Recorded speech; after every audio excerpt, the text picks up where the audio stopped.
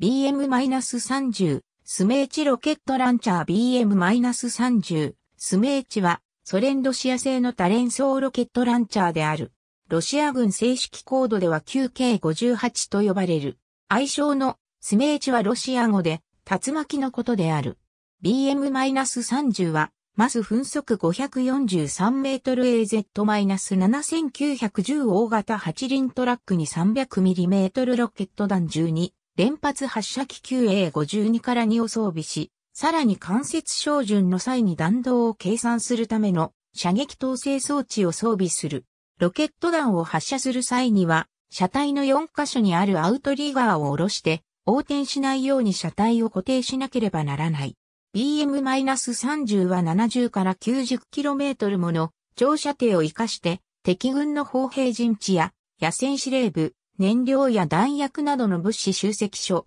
部隊集結地域の走行目標及び非走行目標を攻撃対象とする。射撃には12発を38秒で撃ち切るが、再装填に20分かかる。BM-30 はソ連とそこからの独立国以外では、アルジェリア、インド、クウェートに輸出されている。中華人民共和国は少数を参考用に購入した後、03式 300mm12 連装自走ロケット砲を開発し、中国人民解放軍陸軍が正式採用した。03式は車体にマスマイナス -543 をリバースエンジニアリングして開発した WS2408 輪重トラックを使用している。重量 800kg 全長7.6メートル弾頭重量 243kg 師弾重量 1.75kg 師弾の破片の重量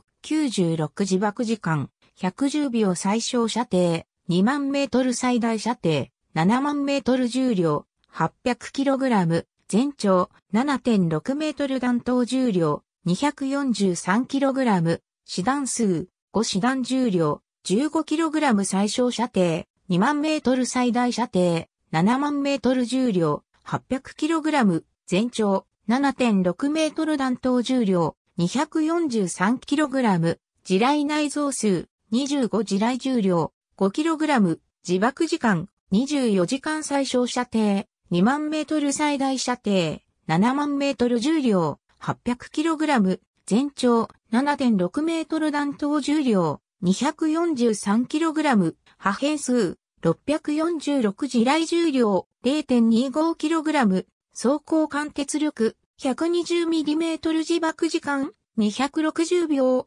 最小射程、2万メートル最大射程、7万メートル重量、800kg、全長、7.6メートル弾頭重量、258kg、自爆時間、24時間最小射程、2万メートル最大射程、7万メートル重量、800kg、全長、7.6メートル担当重量、243kg、最小射程、2万メートル最大射程、7万メートル重量、815kg、全長、7.6メートル弾頭重量、243kg、最小射程、2万5000メートル最大射程、9万メートル。ありがとうございます。